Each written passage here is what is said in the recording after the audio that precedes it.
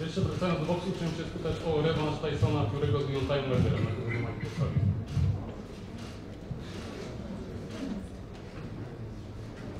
The what game? Deontay Wilder, Tyson Fury, in. How do you see Are they fighting again?